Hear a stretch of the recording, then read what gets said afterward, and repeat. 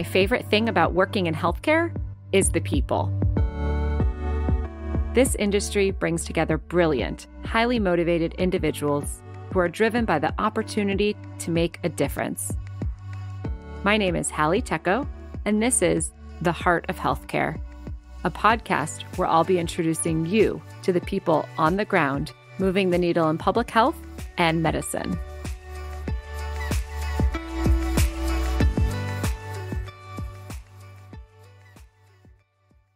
My name is LaShyra Nolen, but my friends call me Lash. I'm from Los Angeles, California. And today I want to thank my Lord and Savior, Jesus Christ, for ordering my steps and allowing me to be here today, and for the beautiful people that they have surrounded me with in order to inspire this journey. I want to thank all my mentors at Loyola Marymount University and my friends who are watching right now. Hey, y'all. I also want to thank my Auntie Africa, who is here today, who quite literally is the reason why I decided to come to Harvard Medical School. I want to thank my little brother, who showed me how to do the Orange Ranger and keeps me on all of the Fortnite dances. and I especially want to dedicate this day to my mother, Ty Harps, who raised me as a single mother in Compton, California, and had me at the age of 18 years old. Technically speaking, I'm not supposed to be here. Statistically speaking, speaking, this is a miracle. And mommy, you so silently are the architect behind all of my dreams and the dreams of so many in our family. And I just want you to know that you were the first superhero that I ever came to know. And I want you to know that I have this privilege of putting on this white coat and feeling like a superhero every day because of you. So I want you to know that this is your white coat. And I thank you for giving me the privilege to even wear it. And lastly, to all the little black girls out there, you can't be what you can't see. But I hope you see me now and I hope you see yourself in me. We have to keep pushing, and you need to be here because medicine will not progress without us. The marathon continues. Thank you.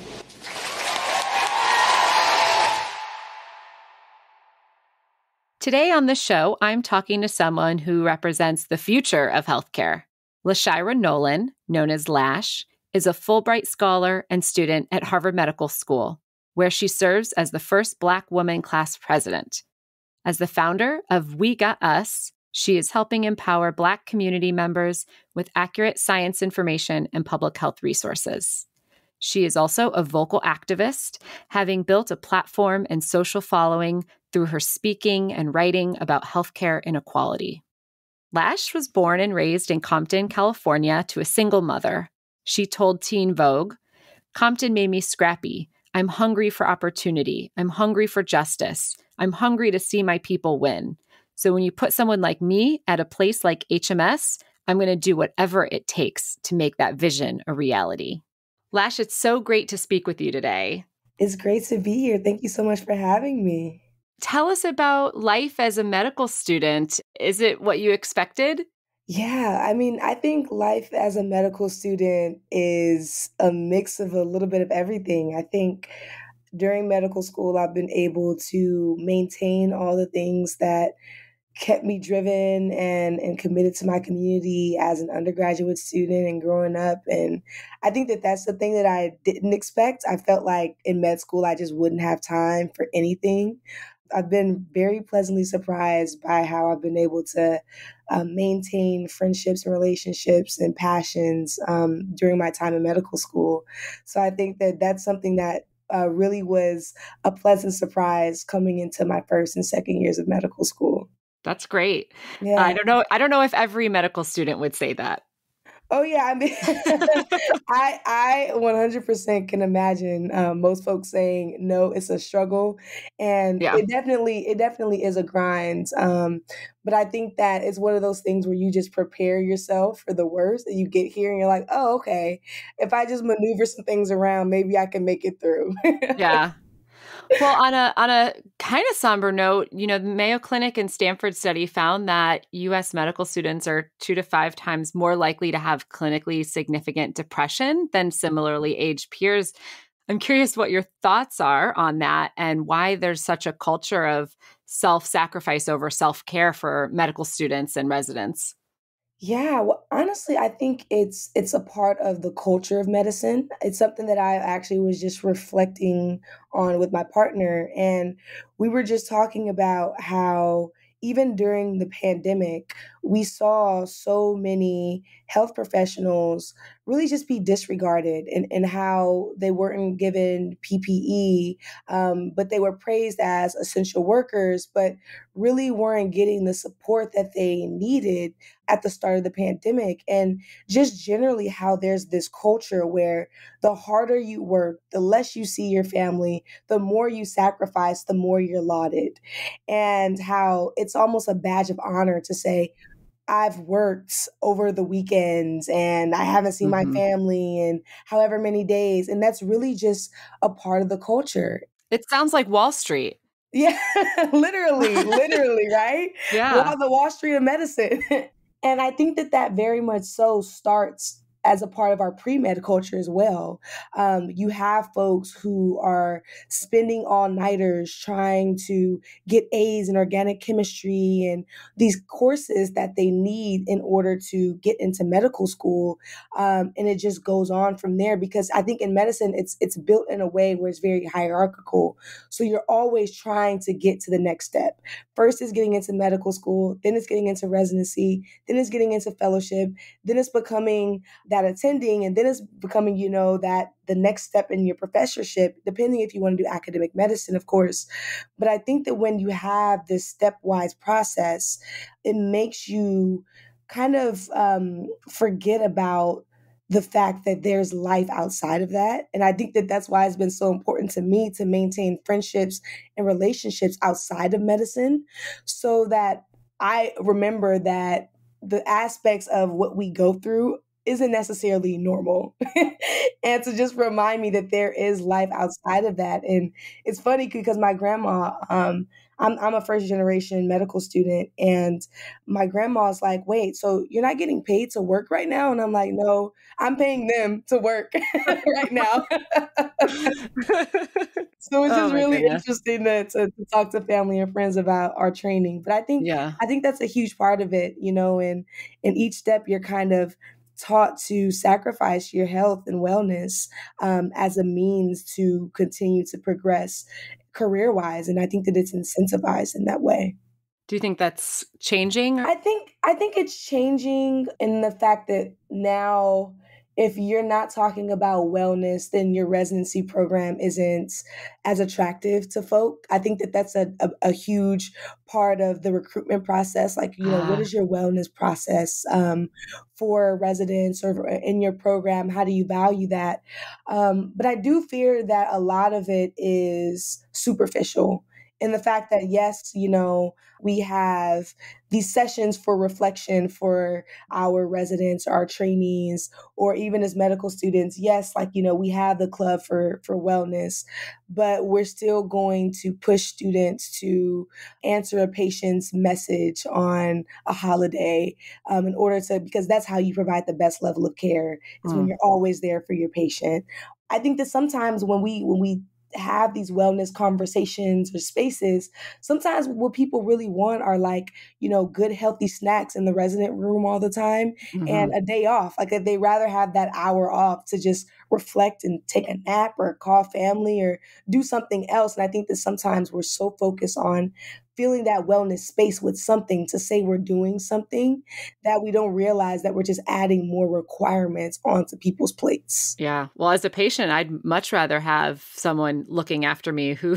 who's yeah. well rested and right. feeling good. I don't want someone who's at the end of a 24-hour shift and just, uh, you know, not feeling great.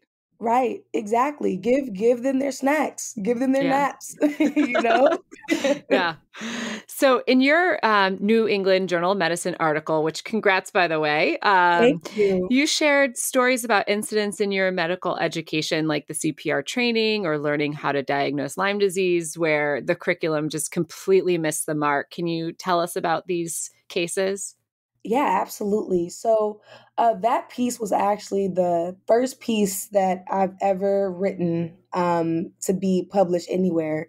And it really came out of this natural desire to share this uh, this experience that I had during my first year of medical school. And at this point, I was maybe three months into school, and we were in microbiology class learning about Borrelia burgdorferi, the spirochete that causes Lyme disease. And we were learning about the the ways that Lyme disease progresses and how in stage one of Lyme disease, patients can present with a rash called erythema migrans, or um, more traditionally known as the bullseye rash.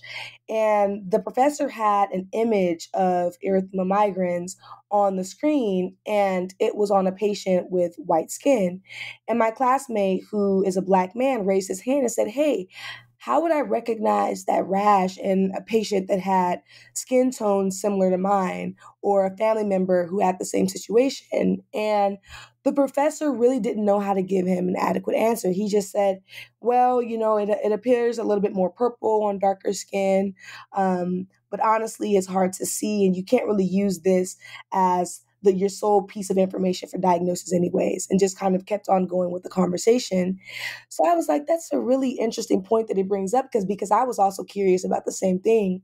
So i uh, went on my phone and just googled uh, bullseye rash and literally i was just looking through pages and pages on the images section of google images and literally could not find an image of how this presented on darker skin.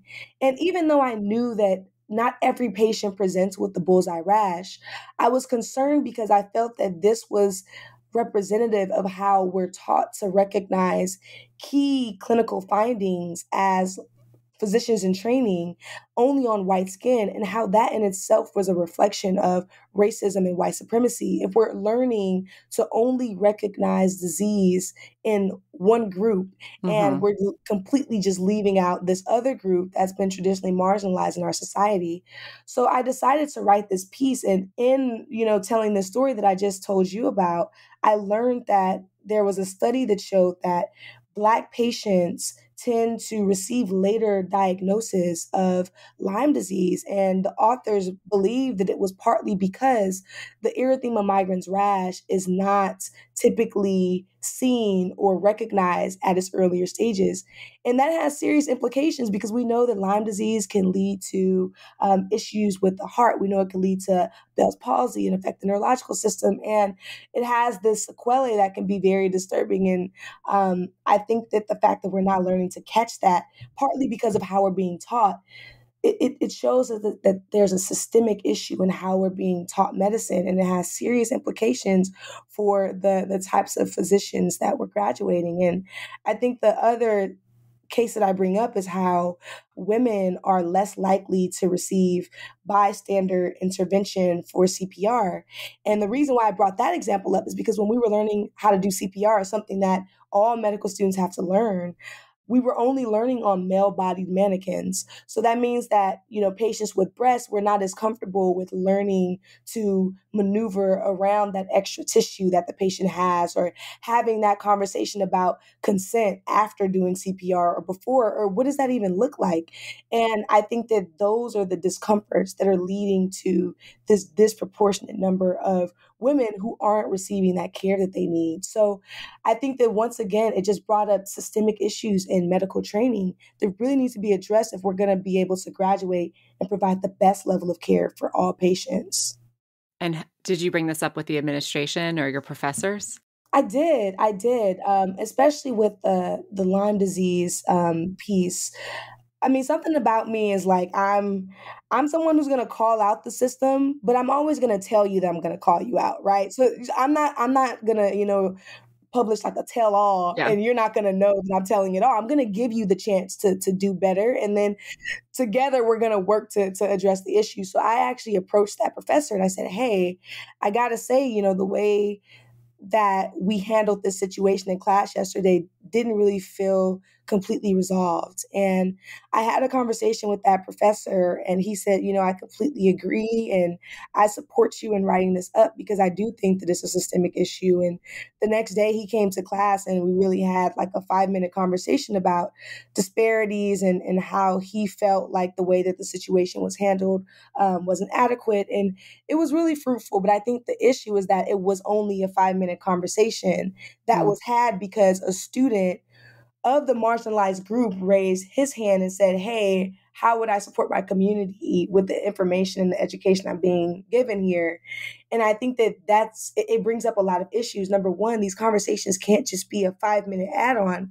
And two, it can't be the marginalized group that is advocating for themselves in these spaces. It yeah. needs to be a we that's saying, hey, why aren't we learning how to recognize this in all patients? Yeah. Because those are going to be my patients. Yeah. Yeah. Like let's let's self-reflect and right. correct from decades of systemic racism in medical education and exactly. care. Yeah. 100%. And on, on that note, research does show that diversifying the physician workforce can help reduce health disparities. Yet the percentage of students from these groups in medicine is increasing at a really paltry rate. And I actually read that it has decreased for Black men since 1978. Yeah. So what needs to happen to to reach parity for black and Hispanic doctors in the US? Oh my goodness. I mean, big I think, question, but yeah. yeah. No, it's a big question. Um, but I'm so glad you asked it. I mean, I think the the first thing that needs to happen is we need to look way down the pipeline, um, and I'm talking just looking at our education system and reflecting on the way it's set up and thinking about who has access to quality education in STEM. And for example, there are students who don't even have the resources that they need for their chemistry classes, who clearly don't have the same um, advanced placement um, accessibility within their courses. Um, and all of those things are reflection of systemic racism and the way that redlining impacts the way that taxes are paid and which schools get a certain amount of support. And when we think about the public school system versus the private school system and the charter schools, I mean, it's all really wrapped up in all of those things. Um, but I think that just being a medical student and getting to this stage as a first generation student from Compton, California, um, I was raised in one of those communities where we didn't have a lot of resources, but I was blessed to go to magnet and gifted public school programs where a lot of resources were poured into me. But when we consider the the path that it takes to get to medical school, this profession is really one of the wealthy. It's, I mean, when you look at who is largely represented in, in medical school classes. Um, there's been studies by the AAMC and reports by them that have shown that a lot of these folks are among the, the most wealthy of our society. And in order to, for example, if you think about just applying to medical school, first you have to um, become a pre medical student at a university. So if you're first gen, um, you're not coming into the situation with much um, generational wealth.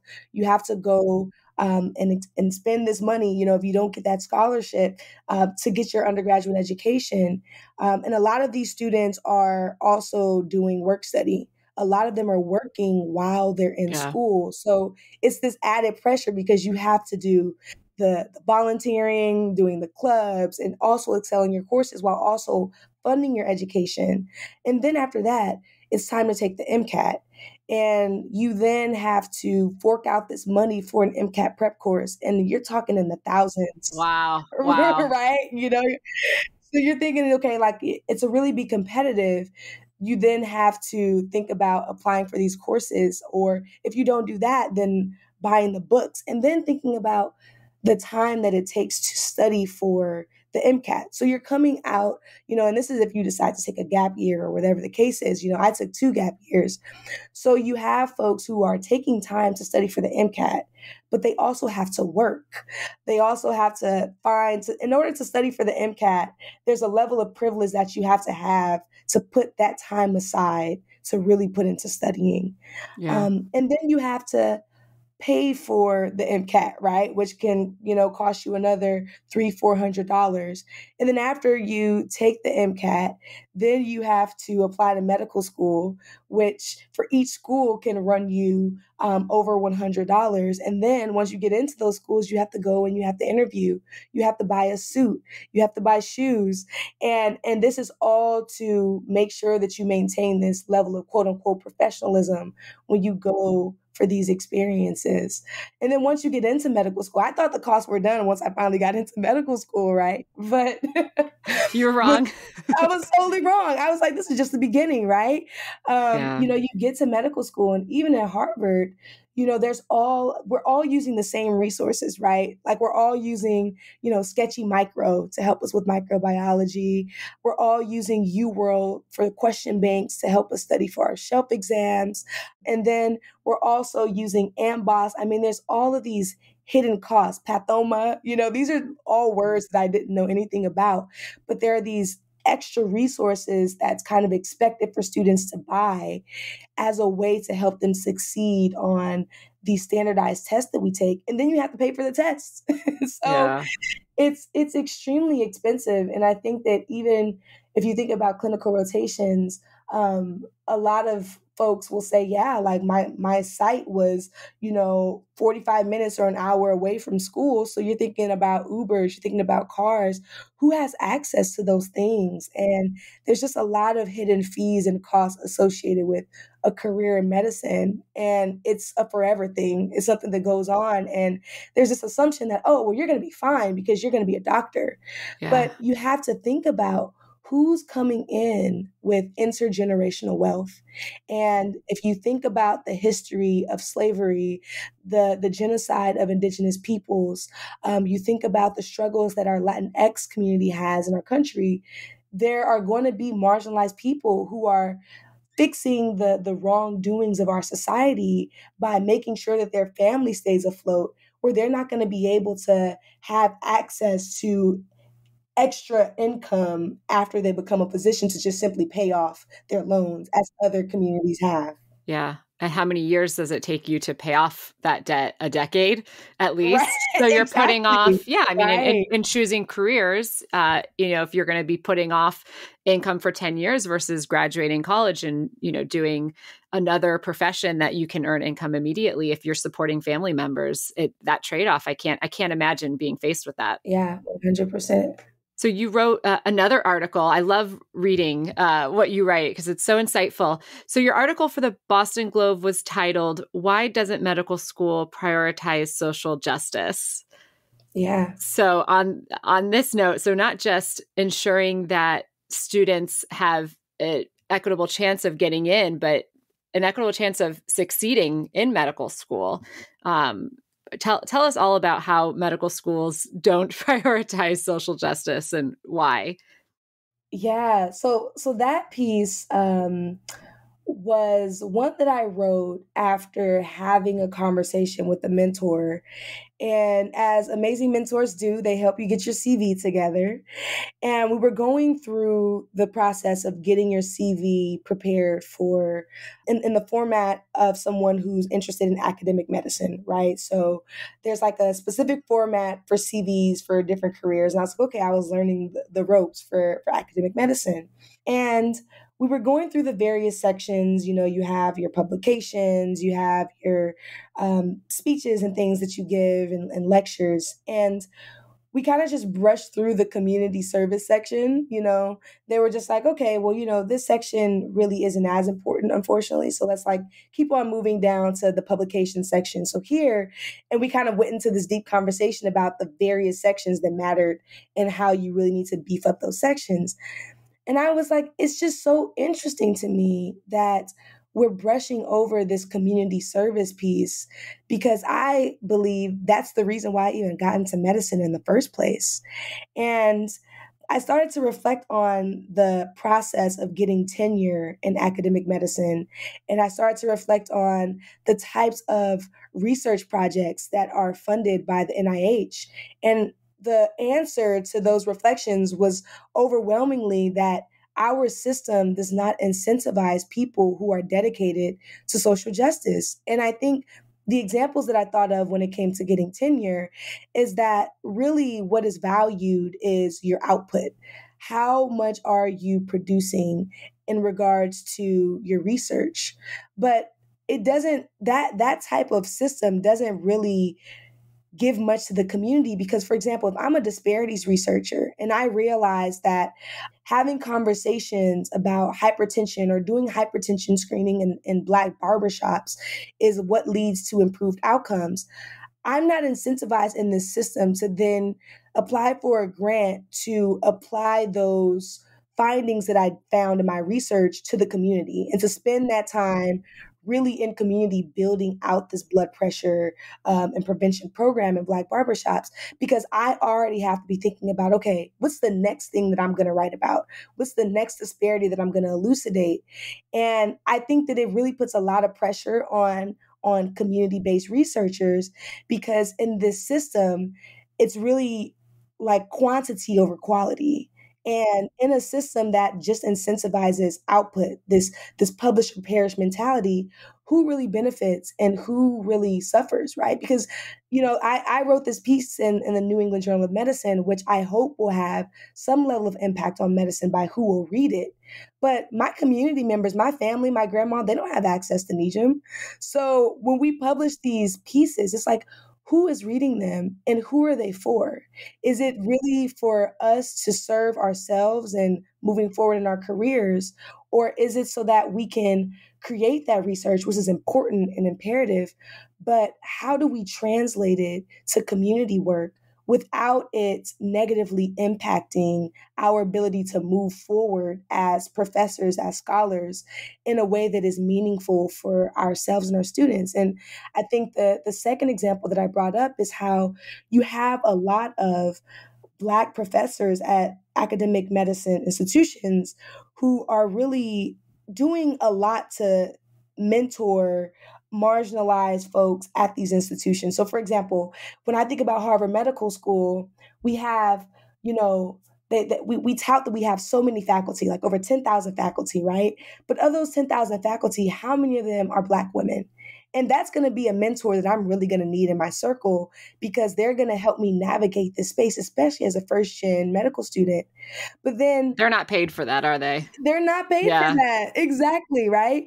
And there's only so many of them. So they have this this publish or perish mentality that they have to learn to conquer, right? Yep. But then they also have to mentor me. And oh, they're also going to serve on your anti racism task force that you've requested for them to be on with no extra pay, with no extra way to, to compensate them for the time that they're spending it's like, okay, if you're going to ask your, your URM faculty to mentor all your URM students to serve on your committees, and you're not going to incentivize their research, but then when it comes to promotion, you're going to say, oh, I'm sorry, your output isn't enough. It's really just a system of gaslighting. We'll be right back after the break.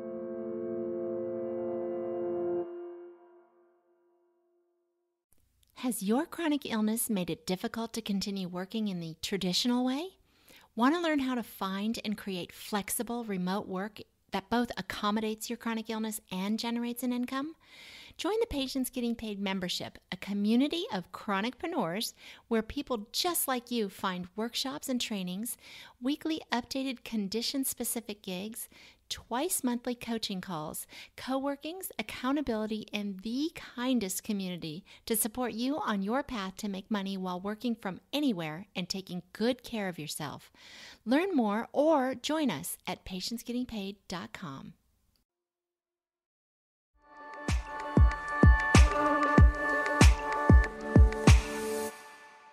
So, kind of changing gears in terms of you being in medical school and get, kind of getting to know your peers, do you think that your generation of doctors are going to approach medicine differently and change the system? I have so much hope for this next generation of physicians. Like, awesome! That's great to hear. Yes, I, I really do. I really do. Um, I think that what's exciting is that it's not just in medicine. Like when I think about friends and colleagues that I have um, in divinity school, in public health school, um, in law school, in business school. There are folks who are really thinking about how do we make a more equitable system and i think that the the generation of like millennials or i think they're gen I, I i get confused with you know all of these different names that they give the groups but i think that the generation that's younger than me they're even more social justice minded. And Gen Z, like Gen Z, right? You're Gen are Z, you? There we go. You're yes. I'm I, am i am an old millennial. You're probably a young millennial, and then that, they're Gen yep. Z. Yeah. Yeah. I love it. Yeah. I always I feel like there's so many different parameters. I'm like, yeah. this someone could write a dissertation on this, yeah. you know? but yeah, I, I I really am inspired. And I think that the reason why I think I'm feeling hopeful is that I see my peers educating the old guard. So yeah. when they're when they're on their rotations, they're like, look, every patient that I speak to, I'm going to introduce myself with my pronouns. And I don't know if that's what you do, but that's that's what I'm going to do. I don't care what age the patient is, how they look. Yeah. That's what I'm going to do. And I think that by being unforgivably dedicated to social justice, yeah. that is the way that that that this generation of future physicians is is really going to change the game. But I think that that change can go only as far as the system is willing to be malleable. Yeah. So if we are going to continue to train physicians in a system that is systemically racist, a system that is systemically making our students and trainees depressed, then you can come into this career into this system with all the hope and desire to make a change in the world. But if you don't give folks the space to really thrive and be joyous because of this system, then you're gonna sap it out of them. And by the time they become that attending, they're gonna be so jaded and they're gonna be in this system of let me publish or perish. And that's why we need systemic change. Yeah. So it can't just be an individual imperative, it has to be a collective one. So, on that note, if you could wave a magic wand and completely remake medical education in the US, what would that look like? Oh my goodness. Um, well, I think you know one one thing that I would hope to do is off the bat, I don't think that any student should be doing the work of, of medicine and healing without knowing their community. So I think that the first step of of training would need to be meeting with community leaders, um, learning about where people go to eat, where they go to fellowship, where they go to feel safe, where they go to play, really learning about what the lives are of the folks that they're going to be serving, because that's going to directly influence how your patient is going to be able to take their insulin, how they're going to be able to manage their hypertension or their diabetes. If you're saying, hey, you know, I need you to take this metformin, but at the same time, you don't even realize the access to healthy food or the access to safe spaces to exercise, then you're going to be unable to fully be the healer that you need to be for that patient. And I think that that's where a lot of us are failing in that, you know, we come to these communities and we work, but then we leave. We're not eating lunch in the community. We're not, um, you know, going to the gym in the community. We're doing all of that elsewhere, and then we're coming in. Yeah. So I think that really learning about the systemic struggles of community members and and learning that they really are the folks that we have so much to learn from um, as a way to become better healers. I think that that would be the first thing that i want to do and i think that some schools have versions of it. I know we do that for like a day here at harvard medical school but i think that that needs to be a longer immersion and i think it needs to be a continuous immersion. Yeah. and i think that more and more really community leaders and activists and advocates should be our professors. And I think um, if we can move in that kind of a direction, that'd be awesome. And I think the second thing I do is is making sure that conversations about disparities aren't these slides at the end of a you know a 45 minute lecture and you spend two minutes on this slide saying, hey, yeah, so today we talked about diabetes. And as you can see, you have uh, Black, Latinx, and Indigenous peoples who have disproportionate rates of diabetes. Um, and we're doing everything we can to, to really address this. And it's really sad. And that's the end of the lecture, right? Yeah. and I feel like that's that's the reality right now. And it's like, no, let's have an entire conversation about this. Let's discuss it in small groups. And it's okay. I think we always end on this question of like, you know, what do we have to be hopeful about? And it's okay to not be hopeful about it, but to really do the work to make sure that we address the issue. Um, because right now, we, we aren't hopeful. And I think that that's okay. I think that there's always this like, you know, nice bow that we want to put on difficult conversations, but no, what do yeah. we need to do to get there?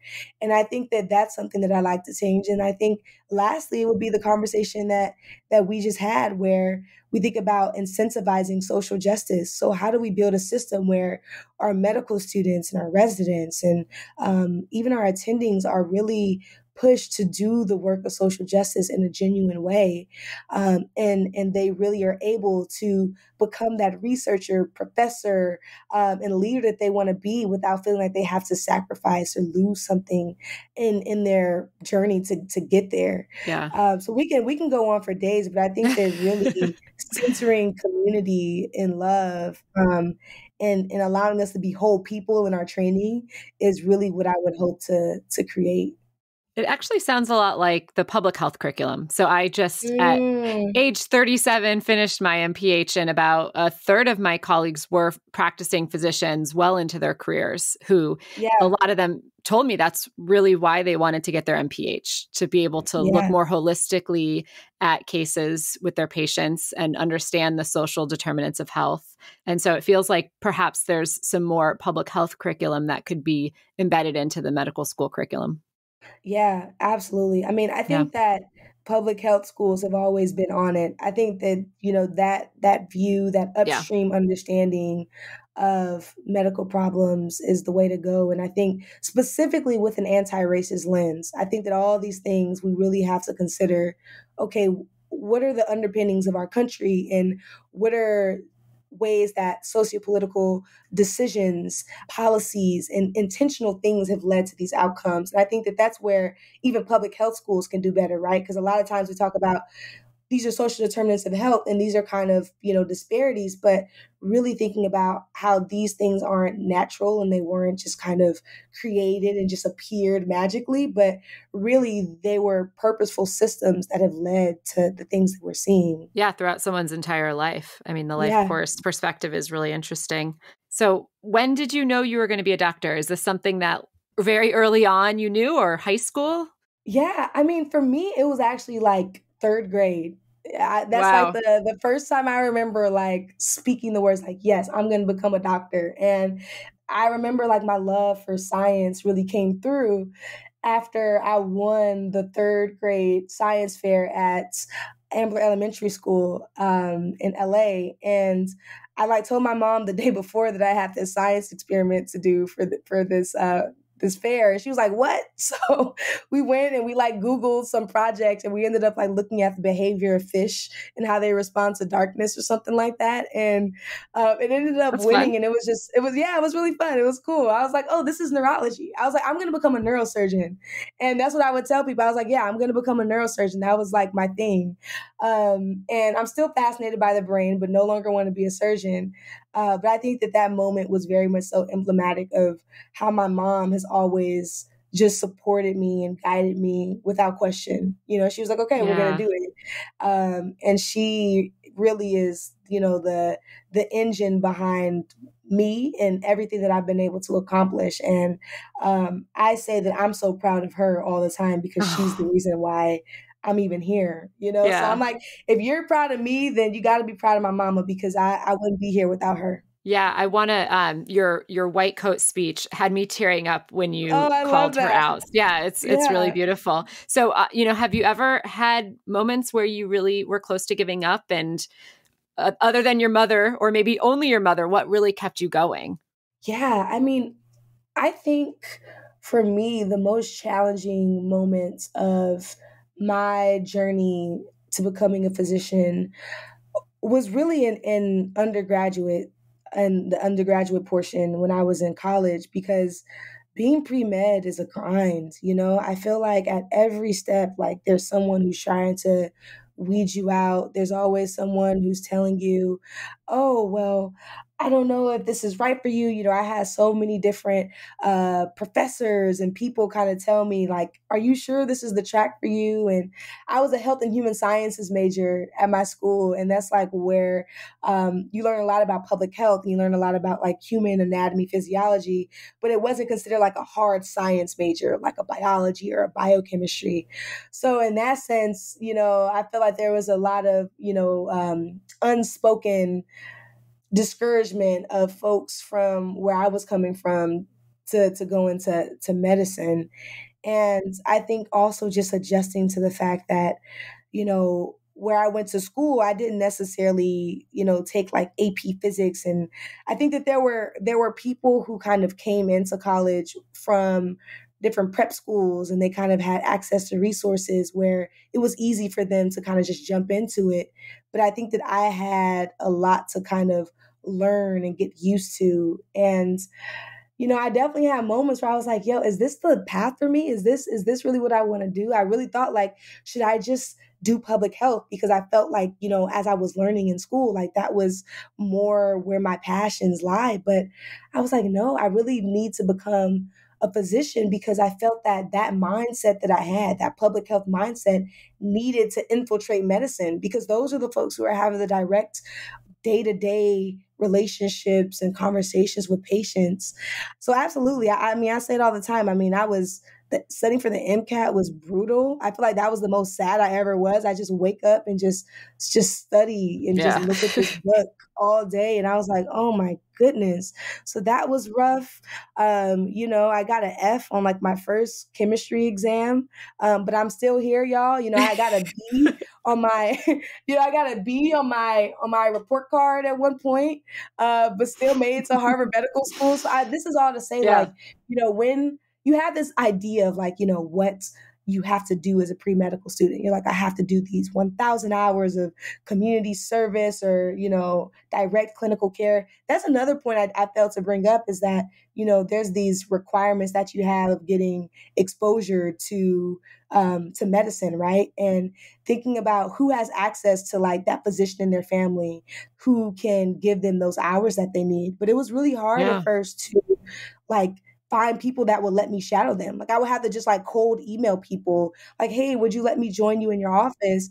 And I didn't always get a response. I think a lot of folks don't get a response. And now being a medical student and seeing how busy my preceptors are, I'm like, I see why I wasn't getting a response, right? Like, yeah, you know, I think that and, and it goes back to the extra burden put on URM faculty and and health providers because they feel this natural desire to want to serve and to help their community by allowing that student to shadow them. But it's like it's hard to to do that yeah. Um, for so many students.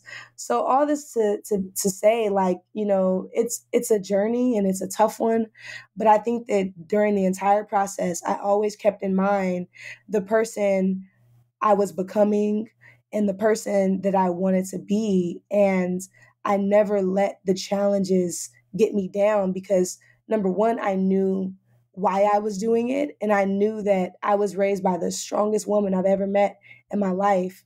And I knew how hard she was grinding, how hard she worked for me to be here. So, how can I give up when my mom raised me as a single parent in Compton, California, and managed to get both her bachelor's and master's degree and continues to push herself every single day to be better wow. and to strive greater for her family. Yeah. So, I think. I think really, you know, she's my my engine, but I think also my journey to get here wasn't smooth. It wasn't, you know, just a straight mm-hmm. shot. Yeah. So when I encounter challenges in medical school, whatever it may be, you know, a hard day, you know, feeling like I'm incompetent because of whatever, you know, just just being a med student, you just push through and you get up and you just do it again because you know you're doing it for your community. Yeah. That's beautiful. I hope that we have some future med students that are listening. Um, yeah, it's it's very cool to hear the the truth about it. That it isn't always an easy path, but here you are, and you're making a difference beyond just the work that you're doing at school. You also have a nonprofit that you started that you're running. I can't imagine how you have time for that on top of all the articles and using your platform for social justice. So you know that's awesome. Can you tell us about We Got Us, your nonprofit? Absolutely. So We Got Us was was started because in December, when the vaccines were first approved, uh, I was getting a lot of messages from family members and friends asking about the vaccines. They were just like, look, what's up with this? And I think, you know, naturally being the first in your family to do this, yeah. you really become like the doctor. And wait, sorry, they were they were skeptical about should they get the vaccine or not?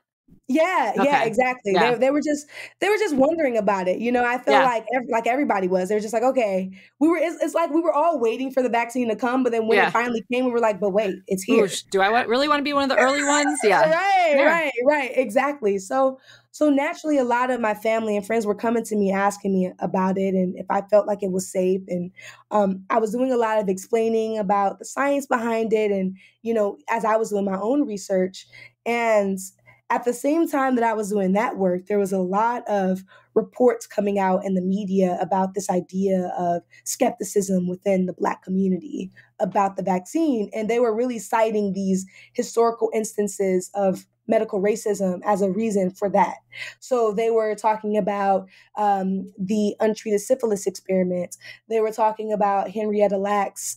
Uh, they were talking about, um, you know, Betsy and Anarcha and, and, and the enslaved women that Marion Sims operated on and that experience, but they weren't really focusing on the day to day experiences of medical racism that my community faces.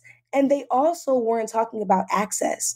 They weren't talking about how once we got these vaccines, how are we going to make sure that communities have access to it, access to the education that they need to understand why this vaccine is safe, and physical access to the vaccine, um, access to physicians who look like them, um, who can explain information about it. And the other piece of it was related to that last point. There were studies that were also coming out showing that racial ethnic concordance between provider and patient led to increased seeking of information about the vaccine. So that means if you put a black provider in front of a black patient, that black patient was more likely to want to get more information about the vaccine and to feel more comfortable in doing so because that physician looked like them. Yeah. And because of the paucity of physicians that we have in our country who are black people, because of systemic racism and the challenges of entering the career and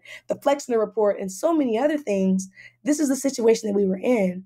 So I knew that there was a need for an organization that would, number one, have an understanding of medical racism in a historical sense, not just focusing on these events that happened years and, and decades ago, but really the way it presents today. And then also making sure that we connect providers who look like the patients and communities that they're trying to impact and give information to, and also increasing access to the vaccine by doing the door knocking and the canvassing that was necessary to get that information out there. So I literally, um, it was Christmas break. Um, I'm like, Lash, you have no time to do this. Like, you're literally in your clinical year. You are a full medical student right now. Um, but the more I thought about it, I, I literally sat on the idea for about a week or two. And I was like, if I don't do this, who's going to do it? And I was like, okay. So I just wrote this little proposal, um, started sending emails to folks, and um, stumbled upon a, a, great support within the American Board of Internal Medicine. And he was like, okay, Lash, I'm going to give you $10,000 to start this. And I was like, okay. So I just went, you know, I sent out a call for applications to different Black medical students and pre medical students across the Massachusetts area, did an informational session, um, started interviewing folks for positions. And now, you know, six months later, we're a coalition of over 100 students, um, have an executive team of eight folks um, and each of them are committed to various aspects of our organization. And, what we do um, is we empower through education. We do these things called empowerment sessions, uh, where we really spend about an hour with different community groups virtually talking about the history of medical racism, the way the vaccines work, and really answer any questions they have about the vaccines. And we tailor it to the needs of each group. So if you're interested in the vaccines in relation to, you know, being a pregnant person, if you're worried about the vaccine and how it relates to youth, uh, we also do youth empowerment sessions and have a team of high school students that works with us. And in addition to that, we're in the community um, and we we do uh, canvassing and we do various community events uh, where, you know, if you're out having a festival, we're going to be out there talking to folks about the vaccine and getting them vaccine appointments. And recently we started to do our own community events where we've had comedy shows and also have kind of combined the arts with with also public health in that way. And it's been a phenomenal opportunity. It's it's really been really everything that I want to do. I mean, I imagine myself being a 100% community-based physician and really, you know, bridging this gap between the information and access to tools that we have. So, it's been a, a major blessing and I'm just really proud of how the organization is growing and um, excited to see where we go in the future. You've already impacted the lives of so many, and no doubt you'll continue to do so as you carry on your journey to become a doctor. My last question for you is how we can support your work. I would say uh, if you're interested in learning more about We Got Us, uh, you should check us out at We Got Us Project, um, and that's on Facebook, that's on Twitter, and that's on Instagram. And we're regularly posting uh, different videos. We have this awesome animated video that recently was released that really breaks down um, the vaccine and the disparities that we've seen. So, if you're looking for something that is tangible that you can share with um, community groups and leaders, please check us out there um, on, on all our socials. And if you just want to donate or learn more about the organization and our origins, check us out at We Got Us Project org on our website. We have all that information there. If you're interested in volunteering, collaborating, we would love that. Just please hit us up there. Um, and if you want to follow my work personally, um, you can read any and all of my articles at lashyranolen.com. Um, I also rap as well, so you can check out some of the raps that I do there um, and, and all the other panels and things like that that I participate in. I'm on um, Instagram at Lash Nolen Official and on, on Twitter at Lash Nolen. So uh, please follow me. I love to engage in conversation around all these topics of social justice. And um, I just want to thank you so much. Thank um, you. I really hope that this conversation can can impact some hearts and lives. Absolutely. Thank you so much, Lash. Thank you. Thank you for listening to the Heart of Healthcare podcast. If you liked today's show, be sure to subscribe, leave a review on Apple Podcasts, follow us on social, and tell all your friends to listen. The Heart of Healthcare with Halle Tecco is a product of OffScrip Media. Our executive producers are Halle Tecco and Matthew Zachary. Our senior producers are Brianna Seely and Andrew McDowell. It is mixed and edited by Brianna Seely. Our music is by Utah. For advertising and media inquiries, email media at offscrip.com. Hit us up at contact at offscrip.com to share comments, feedback, and make recommendations. For more information, visit offscrip.com. That's offscrip, no T, dot com.